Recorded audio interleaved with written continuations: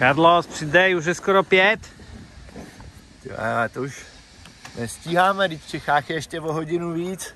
Sakra, no tak to musíme akorát pozdravit. Tady z Lanzarote, bohužel, jak vidíte, tak to nestíháme.